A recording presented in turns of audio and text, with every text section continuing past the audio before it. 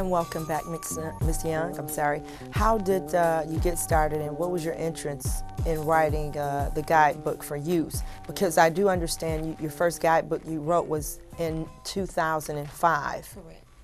Okay, let's go back. Um, my father is an actor, and you said something about parents pushing. Mm -hmm. Here's the thing: my father didn't start to push me until I attended uh, college. I, I attended Central State University, and my first shot at acting was a play that was offered through a drama course. My father was like, take your acting classes, take your acting classes. So I took my acting classes. Uh, Mrs. Lois McGuire, I'll never forget her. Mm -hmm. And there was a play that we put on. Mm -hmm. And from that point, um, my father had me do a photo shot. I know this man in Atlanta, he's going to take some headshots of you. So then I had the headshots done. And then moving here to Michigan, um, the agencies or the talent agencies aren't huge. But when they see a face or a talent and they want to use you, they will use you. Mm -hmm. So I got picked for a couple of commercials mm -hmm. here. Mm -hmm. From that point, I became an acting coach for an company here.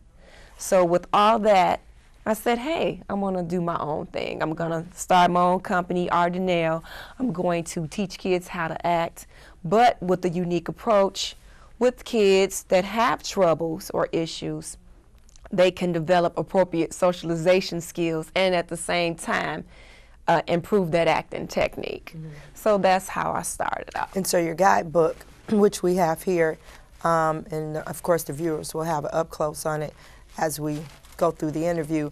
But in the guidebook, tell me a little bit about what's in the guidebook. Like if a team want to get this book and they want to look through it, what are they looking for in this guidebook? oh, sincere, they're looking at the real deal because they're what they're looking at is the lives of children that I've taught. Uh, these two books make up 12 years of my teaching experience. Mm -hmm. And basically what the, the, first book that was wrote in 2005 was the first eight and a half years of teaching. Mm -hmm. And basically the dilemmas and the issues that the kids are bringing to school before you can uh, begin to implement the curriculum.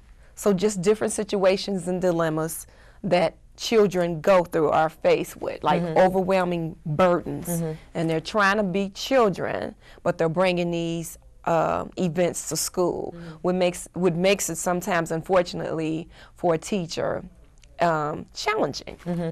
But at the same time, um, it gave me an opportunity to say, hey, what else can I do besides teach? And the children have an outlet and it can be exciting and at the and all at the same time they're really getting therapy because whatever on their chest they're getting a chance to let it out and i'm assuming it. by you being a teacher for as many years this is how uh, being a teacher as a result of being a teacher made you have the compassion for reaching out to the children which means i'm sure that it's very easy to promote what you're doing for the children when it comes to arts and how do you, but how do you get the children to get, to gain an entrance in what you're doing? Actually, they let you know.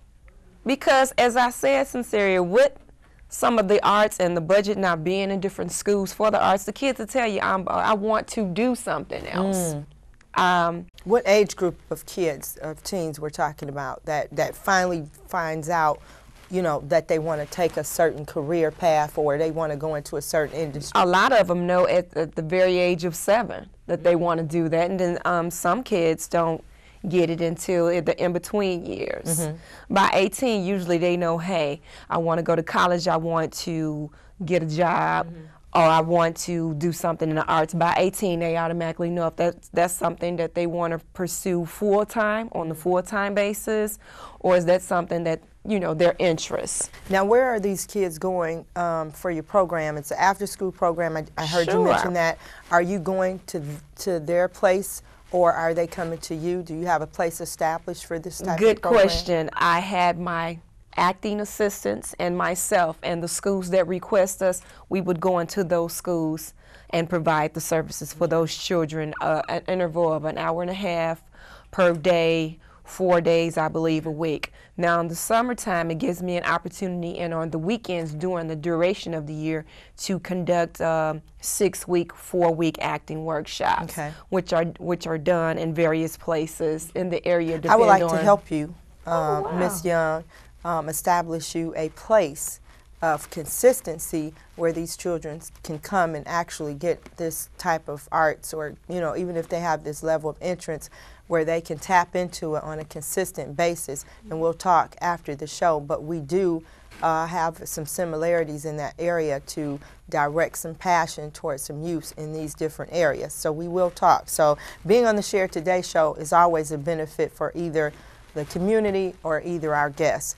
Um, be, but before we take our next break, I want to prepare you for this because one, I want to ask you what what has been your level as far as acting? Who have you acted for? I, I heard you say you've done some commercials. Have you played in any uh, any roles in a television program? And if so, what would be the role that you would say that you played that was phenomenal or that left an impression on you?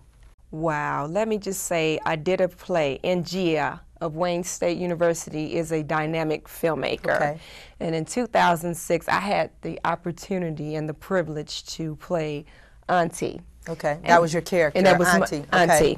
And basically, what I was doing was bringing back all the history of where I had learned to make all these good bacon desserts. Mm-hmm. So it consisted of uh, the children on the stage, along with myself, explaining to the children how these recipes came down and passed from generations Mm-hmm. and how our families had migrated from different places all over uh, the South Mm-hmm. and how they migrated to Michigan.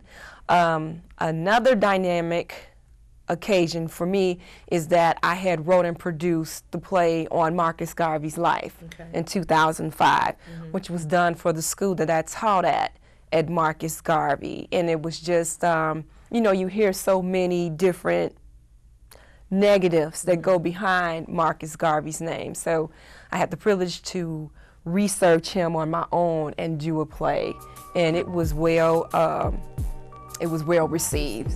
Well, listen, when we come back, we're going to ask you to take us into the character of Auntie. Okay? Sure. Thank you. We'll be right back in a moment.